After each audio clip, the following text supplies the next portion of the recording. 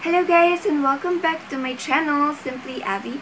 So today guys, I am going to show you another uh, local product na ginawa, of course local product,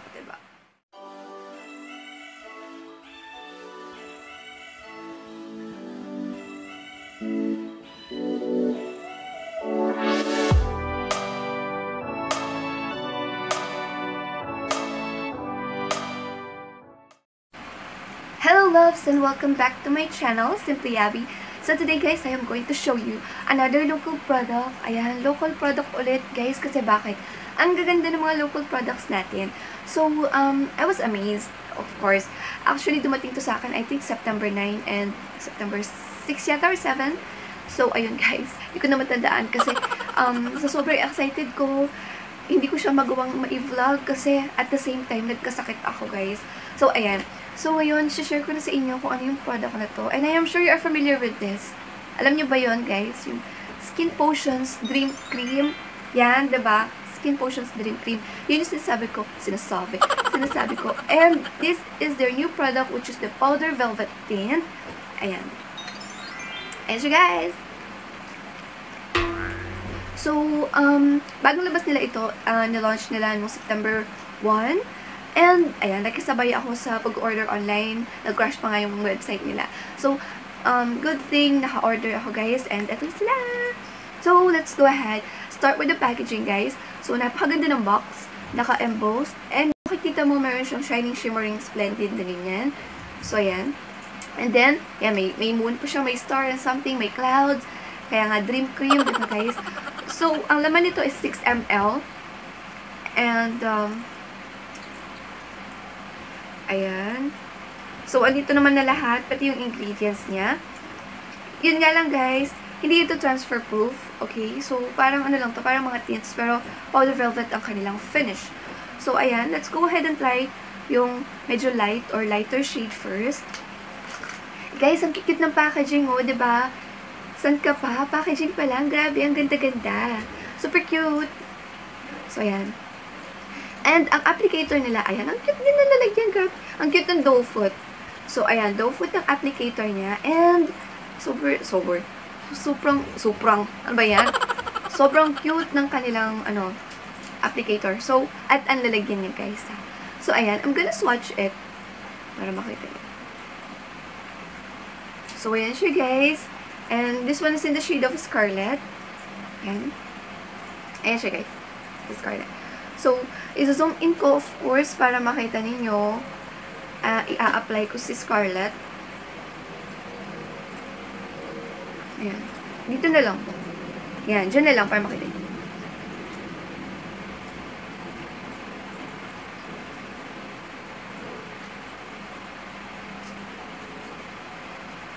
Ayan, si Scarlett, guys, sobrang ganda niya, and I love her so much, kasi, um, she belongs to the nude, ano, diba, nude color siya, so, if you know me well, of, if you're subscribed to my channel, if you're following me, alam na alam nyo ako, guys, gusto ko ng nude colors, and this one is super natural, so, pwede rin ito sa eyelids, guys, you can use, you can use, you can use it as your eyeshadow, and also as your blush, so, try na natin siya, as a blush. So, ang gagawin ko guys is yung nandito lang sa aking, ano, yung nandito lang yung gagawin ko or gagamitin kong pang blush.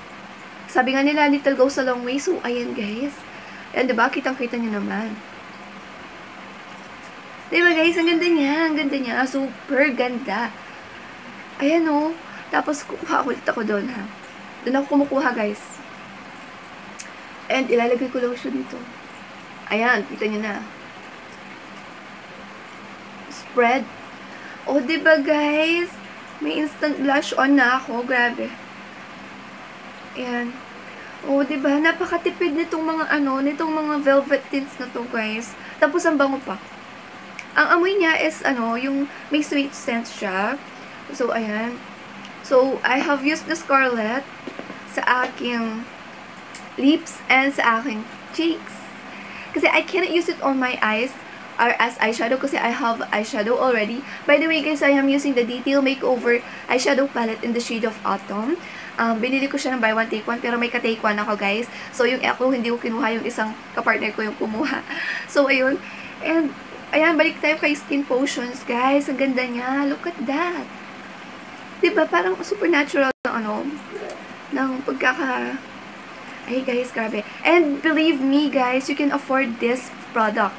So, it will only cost you 249 pesos. And grabe, ito na, ang cute-cute niya. And sobrang ganda ng product, guys. Ayan, you must try this. Ayan. Diba, ang ganda niya, guys? O, diba? Sino ba naman ang hindi maaari? So, guys, ito try ko na yung isang shade, which is the Harper. So, um, buburahin ko muna itong si um, Scarlet sa aking cheeks and sa aking lips. Ay, guys, bago maubusan or bago mag-sold out, bumili na kayo. Grabe, maganda sila. Ayan. Ayan, guys, so wala na siya. Ay, wala na siya. So, wala na yung product sa aking cheeks at sa aking face. So, we're gonna, or sa aking lips. So, try na natin si Harper, guys. Si Harper, parang medyo darker shade siya ni Scarlett.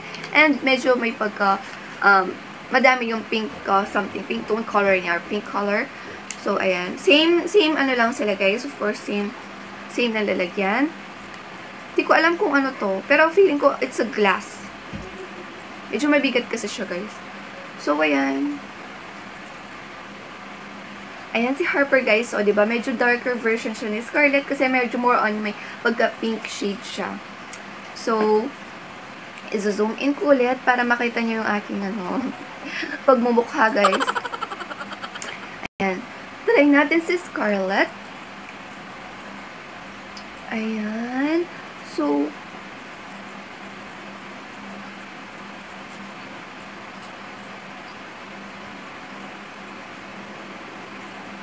Ayan si Scarlett, guys. Diba? Maganda ba siya? Ako gusto ko siya. Kung kanina nude si, ano, si Scarlett, ito, ito yung obvious siya na may lipstick ka or ano. Ayan, guys. Ang ganda niya. Ah, uh. So, meron isa dito, guys. Si Dylan.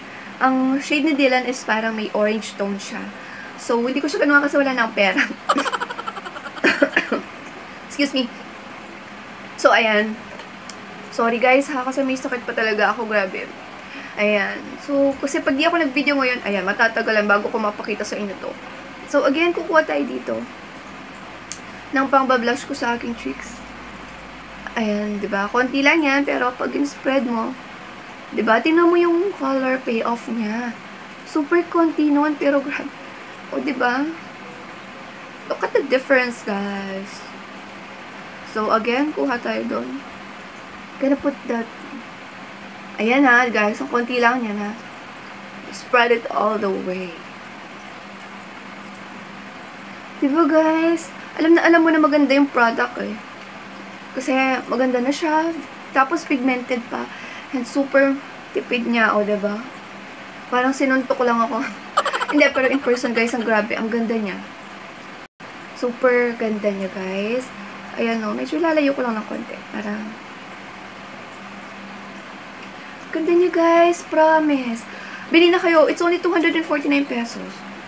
I'm not sure kung available na to sa lahat ng platforms or sa lahat ng mga SM kung saan sila may kiosk or ano, stores. Pero, um, you can buy, uh, I think sa IG pwede rin naman mag-order and sa website nila kung hindi na siya down, guys.